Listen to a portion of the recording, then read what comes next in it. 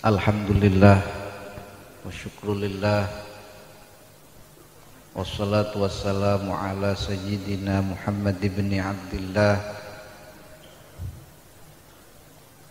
وعلى آله وصحبه ومن تبع هدايا أما بعد فإن أصدق الحديث كتاب الله. وخير الهدي هدي سيدنا محمد صلى الله عليه وآله وسلم وشر الأمور محدثاتها وكل محدثة بدعة وكل بدعة ضلالة.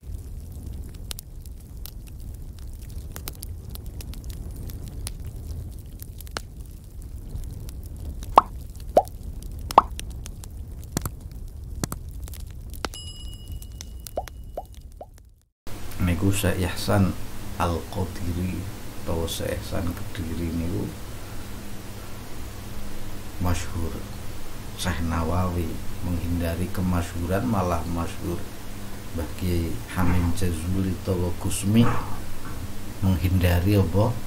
Kemasyhuran dengan caranya dia.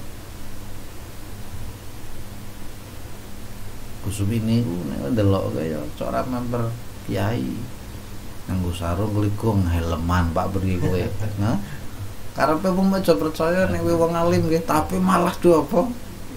Sampean tiru judu nek kedan kowe nganggo sarung likung nganggo apa? Helman ora cocok. Niku nek wis mayang suwi karepe bunyi lili aja emosi aja rasa mulai sisan. Mayang tolong wulan ora apa balik-balik ditinggali anak cilik-cilik tapi mulia kok Meligo nganggo apa? Helm. Jadi begitu melebu punya lele sarasi situ jengkel gugu. Gelem gue jadi kiai. Niku fungsine wong sing wis atine lillah niki. Paham nggih?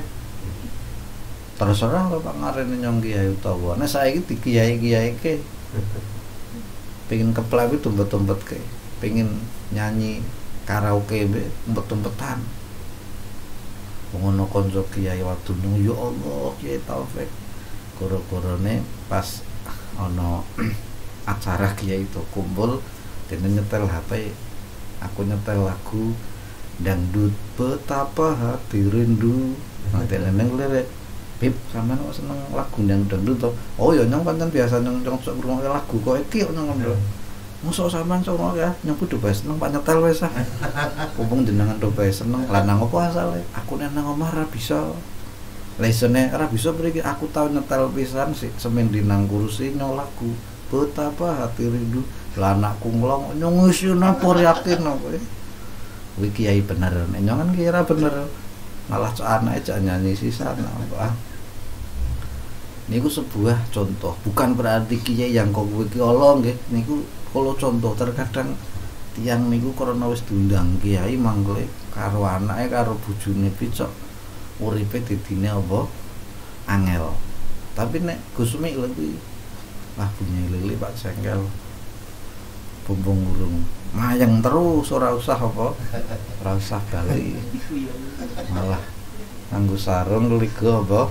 Helman. Nah bojone ras itu apa jadi wis peduli Pak masyhur Pak beri tapi karena Allah Pak detek ke wong masyhur akhirnya Allah yang memasyhurkan dirinya. Walaupun di hatinya mencurigai tidak menyukai apa? Kemasyhuran. Wadzuhur dan menonjolkan dirinya. Monggo jenengan sing imami urung kon ngimami bu jasa iki wis terunjel palang apa? Ngger niku salah satu termasuk akhlake poro solehi dan saiki ulama Jawa sing si urip kok kuwi kathah ngalim kitab pinter mocone kitab pinter tafsir tapi adol warungan biasa karena fitnah zaman yang merajalela. Banyak saya temui orang-orang seperti itu. Kata itu wedam jebuno kekasih Allah jebuno ahli hadis ya wis Ahmad Marwazi Al-Batawi. Di sedulur-sedulur habaib kata adol sarung tak jak dungeng agama nyaut. Biye antum taklimin nanti pin aku dolan tok cah nang 13 tahun. Sebenarnya dol sarung kathah. Ora usah luru ring adu-adu kalongan kathah wong alim-alim sing menghindari kok kuwi timbang adol agama nggo mangan saka adol apa? Sarung nggih. Kathah karena fitnah zaman. Tapi nek milih kok kuwi kabeh engko sing nerangke agama sapa? Iku bila dirine kula omongane wong kalah nggih. Arang jare Mbah Yesus bagiane mulang bae. Kadang mek masyhur mulangnya kitab sing gedhi-gedhi sisan mek dianggep apa? Ngalim ngalama bukan berarti wong mulang kitab gede salah nggih sing penting ti atine. Monggo jenengan titi wong terkenal tapi jangan jadikan terkenal itu sebuah tujuan. Nek kuwi wis didedekke ya wis berarti sampean niku kawulane menungso kawulane makhluk. Dimulyake menungso temenan lalu sampean ngrasa mulya lha kuwi wis didine sumun qatil. La ahbatallahu taqwa. Ini takwa temenan wa abtala ibadatah batal kabeh ibadah yo nek ibadah temenan. Ibadah ini ana wong ora ana tamu yo salat salat salat nah mbok ora ana tamu yo rasa salat ah paham nggih? Wong terkenal niku kan akeh lipstike. Akeh apa? Make up e nggih. Apa arane lipstike akeh apa? Hah? Acting bu? Akeh nih? Hmm? Hmm? Sandiwara buat dramatisir apa berarti? Hah? Paham? Ulama bi hubbal khumul wal ikhtifa wa karahiyat syuhrah wa dhuhur.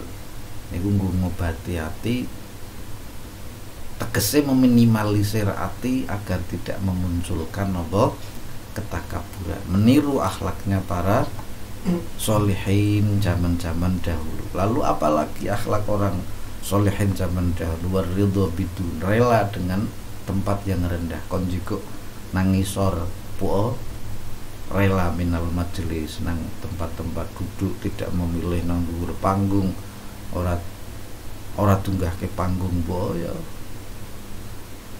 ridho rakai ora kudu dicikoke nang ngarep. Maksude waridho bidun minal majlis itu bagaimana? Insyaallah pertemuan berikutnya. Wallahu a'lamu. Bisawab